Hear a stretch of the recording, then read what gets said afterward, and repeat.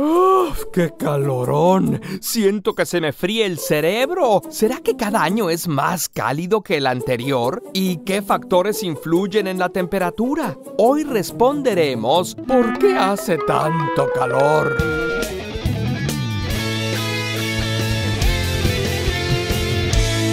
Se trate del calor o de otros problemas ambientales, muchas soluciones provienen de la tecnología. Y la tecnología digital no es nada sin programación. Si a ti te gustaría estar del lado de quienes crean esas soluciones, aprender a programar desde cero o dar un giro profesional hacia el mundo tech, puedes hacerlo acompañado. Existen bootcamps intensivos que te preparan en pocos meses para trabajar en tecnología, incluso si no tienes experiencia previa. Y si no sabes por dónde empezar, te recomendamos hacer una consulta gratuita de la carrera con especialistas de Triple Ten para ayudarte a explorar tus opciones y ver si este camino es para ti. Y si después decides comenzar a estudiar, Triple Ten tiene cursos para todos, sin importar si ya conoces el sector o si empiezas desde cero. En menos de un año puedes convertirte en un profesional en áreas como analista de datos, tester de software, desarrollo web y otras. El horario es muy flexible Puedes trabajar, vivir tu vida y estudiar online desde cualquier parte del mundo. Además, si en los seis meses después de terminar el curso no encuentras trabajo, te devuelven el 100% de tu inversión.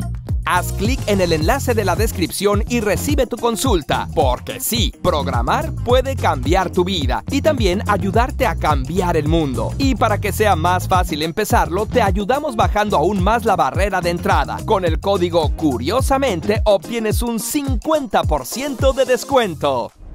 El calor que sentimos solo puede provenir de dos lugares, del interior de la Tierra o del Sol. Aunque la temperatura interior es muy alta, la roca sólida de la corteza es bastante buen aislante, así que solo contribuye con el 0.03% de la energía de la superficie. Casi nada. Prácticamente todo el calor viene del Sol. Así que el primer factor que determina qué temperatura hay en determinado momento es si es de día o es de noche. Como sabes, nuestro planeta es una esfera que rota sobre su propio eje. Cada vuelta dura 24 horas, así que a cada parte del mundo le toca estar al sol unas horas y a la sombra otras horas más. La hora más fría es una media hora antes del amanecer, cuando esa parte del mundo se ha enfriado durante toda la noche, y la hora más cálida suele ser alrededor de las 3 de la tarde. Aunque a las 12 del mediodía es cuando se recibe más radiación solar, es hasta un par de horas después cuando se alcanza la temperatura máxima. El aire y el suelo siguen recibiendo calor y todavía no pueden dispersarlo a la atmósfera. El segundo factor es la estación del año, que está vinculada con el lugar donde vives. Como seguro también sabes, nuestro planeta, además de rotar, hace un movimiento de traslación alrededor del Sol. Este movimiento tiene una trayectoria elíptica, lo que significa que a veces está más lejos del Sol y a veces más cerca. Pero contrario a lo que podría pensarse, no es la distancia lo que determina la temperatura y las estaciones. Piénsalo, mientras en el hemisferio norte es invierno, en el sur es verano y viceversa. Cuando en el sur es invierno, en el norte es verano. ¿Por qué? Ah, pues porque el eje de rotación de la Tierra está inclinado poco más de 23 grados en relación con el plano de su órbita. Esto tiene dos efectos. El más importante es que cambia el ángulo en el que los rayos del Sol inciden en la superficie de la Tierra. En este ejemplo en el que es invierno en el hemisferio norte, podemos ver cómo un haz de luz que incide de manera perpendicular en el sur se concentra en un área menor que el haz que incide de manera oblicua en el norte. Si la misma energía se reparte en un área más grande, pues no la calienta tanto. Y cuando la Tierra está en la posición opuesta, ahora es el otro hemisferio el que recibe menos energía. Como podrás observar, las regiones que reciben la luz más directa en cualquier época del año están cerca del ecuador, por eso son más cálidas, y las que menos cerca de los polos, que son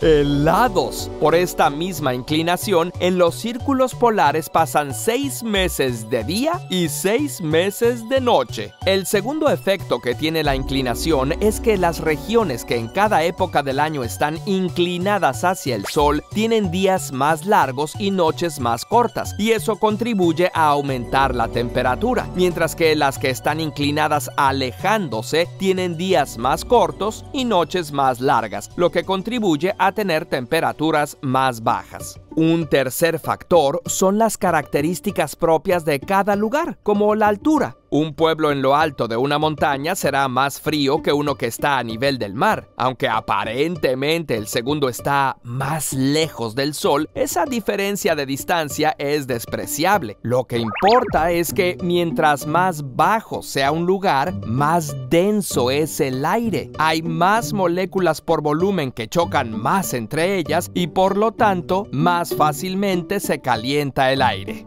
Otras características también pueden afectar. Por ejemplo, aunque dos lugares estén a la misma altura y en la misma latitud, el lugar que esté en un lugar más plano y expuesto, como el monte Ida en Grecia, tenderá a tener una temperatura un poco más alta que un lugar que está en medio de montañas que le hacen sombra, como Telluride, Colorado, en Estados Unidos. Pero nada de esto explica por qué cada vez hace más calor, pues resulta que la actividad humana es un factor importante importante en el aumento de la temperatura. Por ejemplo, cómo construimos nuestras ciudades. Un fenómeno muy estudiado es el efecto isla urbana de calor. Una zona urbana puede hacerse significativamente más caliente que el campo a su alrededor. ¿Por qué? En primer lugar, porque sustituimos la tierra y la hierba por concreto, que acumula calor durante el día y lo libera durante la noche. Además, la presencia de edificios hace que el calor se refleje y se acumule en los espacios internos. Esto es conocido como efecto cañón. Si además eliminamos las áreas de vegetación, quitamos la posibilidad de que la radiación solar se convierta en fotosíntesis y que las plantas liberen agua al aire mediante la evapotranspiración. Millionen. Menos agua se evapora cuando entubamos los ríos. Si esto no fuera suficiente, la actividad de los vehículos y las fábricas produce más calor aún, que se queda atrapado por el humo y otras partículas que ellos mismos producen. Y para acabarla, como nos da más calor, ponemos sistemas de aire acondicionado en nuestros edificios que sí enfrían el interior, pero arrojan el calor a la ciudad.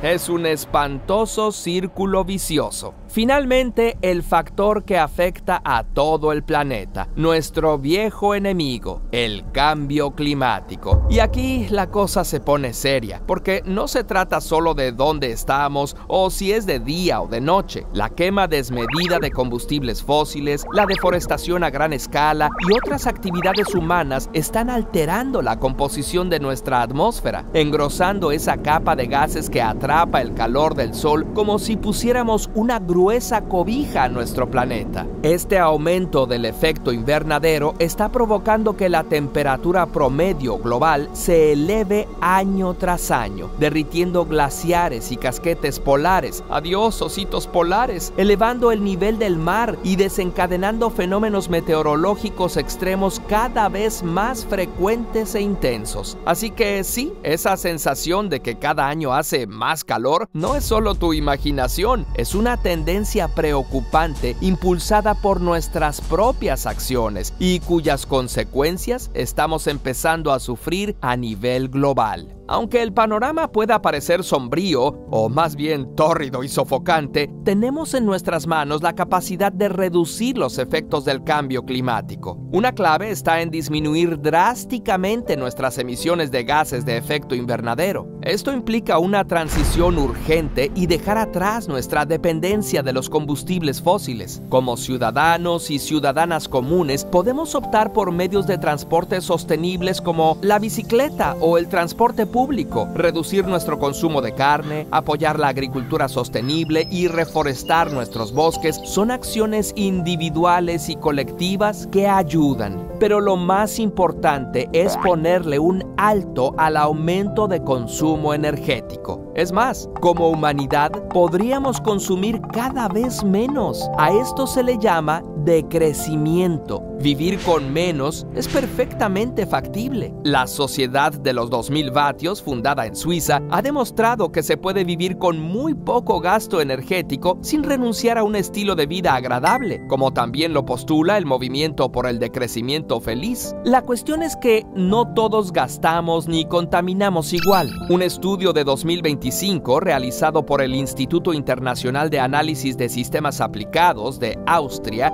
confirmó que dos terceras partes de los efectos del cambio climático son causadas por solo el 10% de personas más ricas del mundo. Y el 1% más acaudalado contamina 26 veces más que una persona promedio. ¿Te parece justo? ¿Qué deberíamos hacer? Para nosotros, además de optimizar lo que consumimos y contaminamos como individuos, como familias y comunidades, es fundamental exigir a las autoridades construir mejores ciudades, establecer regulaciones a las grandes empresas y buscar nuevas maneras de organizarnos, maneras que no impliquen destruir al planeta para que el 10% de la población pueda vivir con lujos desmedidos. ¿Cómo podemos dormir mientras nuestras camas están ardiendo. Curiosamente, Recuerda que Triple Ten, la plataforma de aprendizaje de programación online, te ofrece una consulta de carrera gratuita y un 50% de descuento en todos sus cursos con el código Curiosamente. Haz clic en el link de la descripción. Nos encantaría conocer tus propuestas y opiniones en los comentarios. Si crees que el contenido que hacemos es interesante, considera apoyarnos con el botón unirse o en patreon.com diagonal curiosamente. También nos ayuda mucho que nos des un me gusta y que compartas el video.